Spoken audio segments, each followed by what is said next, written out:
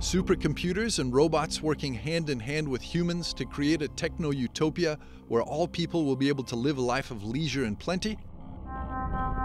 Or do you imagine a dystopian totalitarian state, using an AI system to watch our every move and predict our every action, thanks to its computational unmatched superintelligence, rendering human agency obsolete? Humanity stands at a unique moment in time. The rise in automation, digital connectivity, and advanced robotics have shaped the early 21st century. It has even led certain thinkers to call our era a precipice because of the existential risk these technological innovations pose to humanity.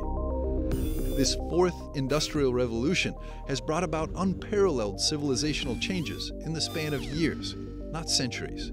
Artificial intelligence has been one of the primary drivers of this transformation and will continue to play a more central role as time goes by.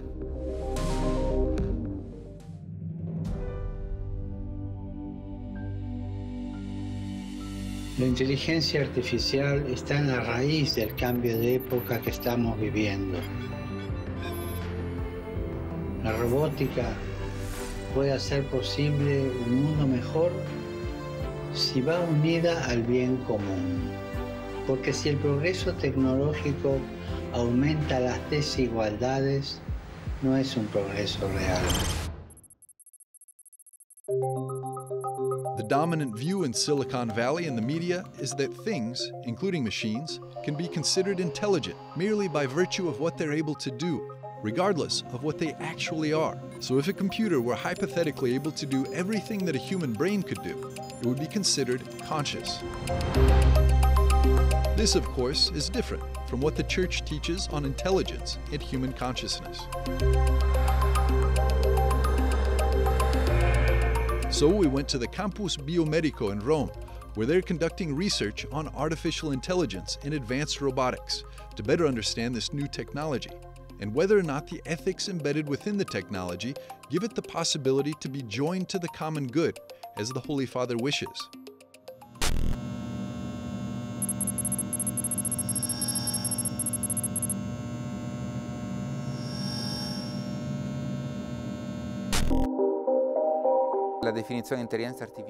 The definition of artificial intelligence is complex, but we tend to use metaphors that refer to the human mind.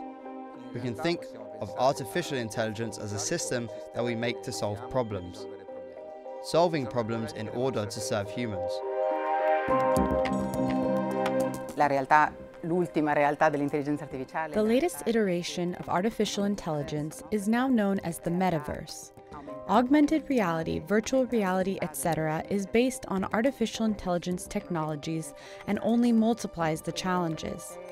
You need specific skills, but you also need an understanding of this new dimension because new technologies come from man, and man is a technical being.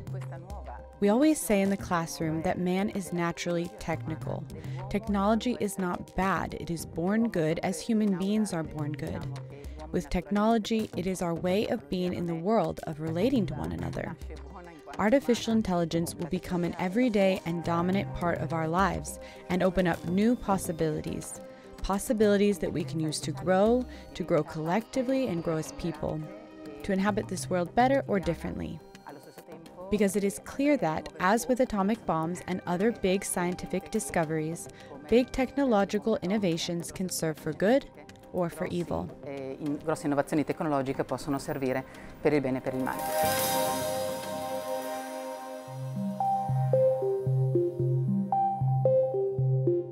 As technology continues to take on more human activities and gain intelligence, it begs further digging into what intelligence means. And if computational intelligence is something that computers will eventually be able to supersede humans in, then what about the entire realm of emotional intelligence and other aspects of human life, such as sacrifice, loyalty, and meaningful relationships?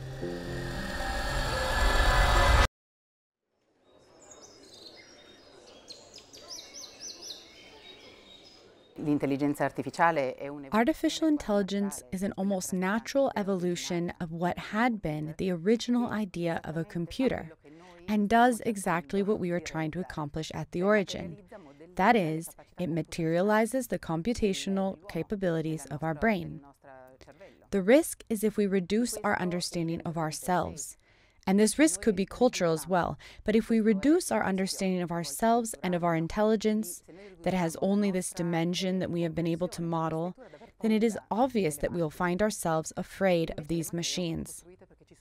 Instead, these very machines were built to surpass us, for them to facilitate our lives and to even replace us in specific functions. But human intelligence is not just a computational capacity.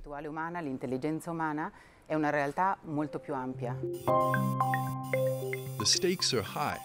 Dr. Christof Koch, at a conference on AI hosted by the Vatican, warned that by mid century, humanity will be surrounded by ubiquitous, flexible, highly intelligent, autonomous agents, and this will profoundly affect our future, including whether we have any. That is why the Pontifical Academy for Life, along with Microsoft, IBM, and others, signed a 2020 declaration calling for the ethical and responsible use of AI. Most importantly, Pope Francis has invited Catholics around the world to pray that robotics and artificial intelligence remain always at the service of human beings. Let us join him